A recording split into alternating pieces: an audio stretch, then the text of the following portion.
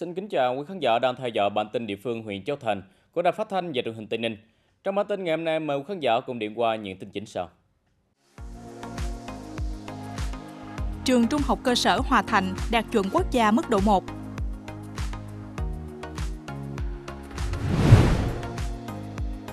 Năm 2023 thực hiện có hiệu quả chương trình kiểm tra giám sát.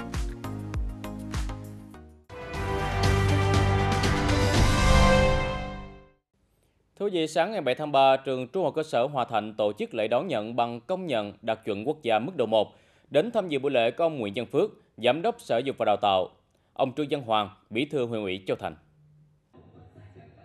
Trường Trung học cơ sở Hòa Thạnh tiền thân là trường phổ thông cấp 2 Hòa Thạnh, được thành lập vào năm 1991 với diện tích gần 8.500 m2. Hiện nay nhà trường có tổng cộng 19 phòng, trong đó có 10 phòng học và 9 phòng chức năng, đáp ứng tốt nhu cầu dạy và học của hơn 300 em học sinh tại trường.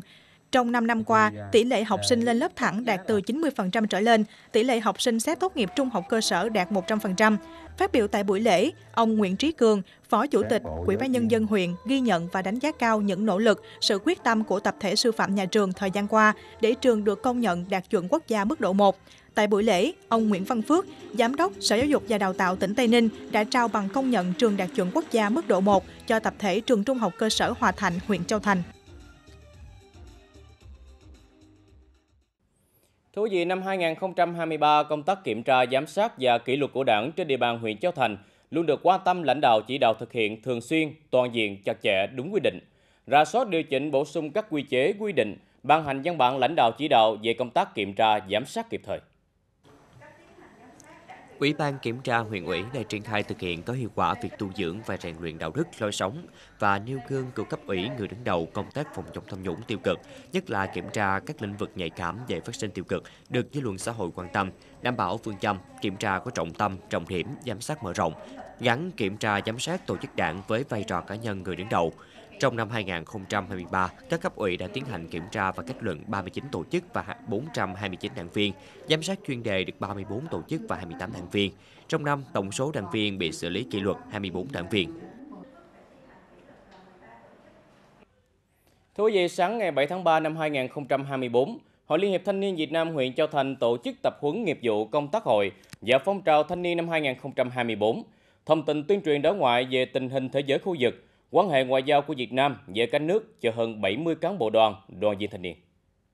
Tại hội nghị, các đại biểu được Hội Liên hiệp Thanh niên Việt Nam huyện Châu Thành hướng dẫn cách thức triển khai thực hiện các tiêu chí thi đua năm 2024, tập huấn nghiệp vụ công tác tổ chức Đại hội Hội Liên hiệp Thanh niên Việt Nam cấp cơ sở. Ngoài ra, tại hội nghị, các đại biểu còn được Ban tuyên giáo huyện ủy Châu Thành thông tin tuyên truyền đối ngoại về tình hình thế giới, khu vực, quan hệ ngoại giao của Việt Nam với các nước và chủ trương của đảng ta về công tác đối ngoại trong tình hình hiện nay.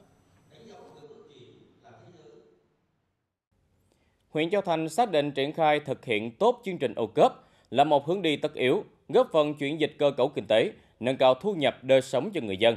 Đến nay, huyện Châu Thành được Ủy ban dân tỉnh công nhận 8 sản phẩm ô cốp đạt hạt 3 sao.